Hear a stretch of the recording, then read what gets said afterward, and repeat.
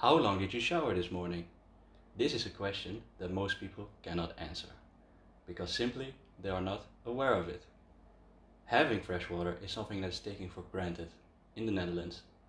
Last few summers though, the government advised us to be more cautious with water as we were experiencing a very dry period.